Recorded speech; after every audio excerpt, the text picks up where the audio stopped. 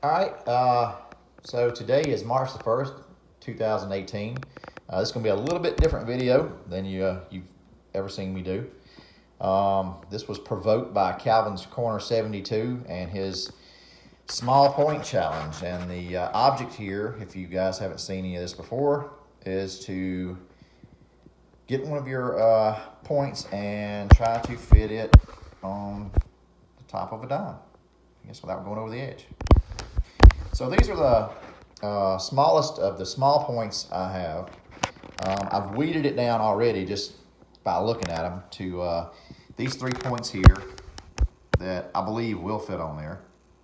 Um, I do have to, a disclaimer here though, I'm gonna put this one on there. This is, this is actually the smallest one I do have, uh, but it does have a little nick right there off the base of it right there.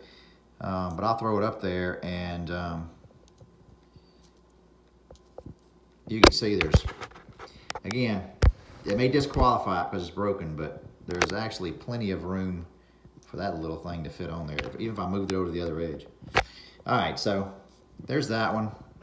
Um, this one here, we will stick it on there.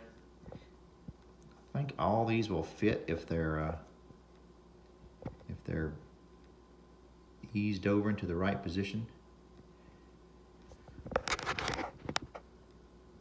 Can't tell if that one's, no, it's not. All right, so that one fits. And we'll give this last one a little shot at it. Let's see here. See if I can get this one coaxed around to where it's gonna fit.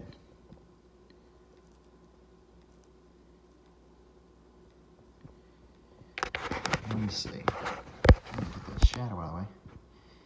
That one looks like it fits too. All right. Well, there you go. I had those three. Anybody else wants to try this, uh, give it a shot. There you go, Calvin. All right. As soon as I can get out and get in some fields or some creeks, I'll do it today. And yesterday it's been raining all day.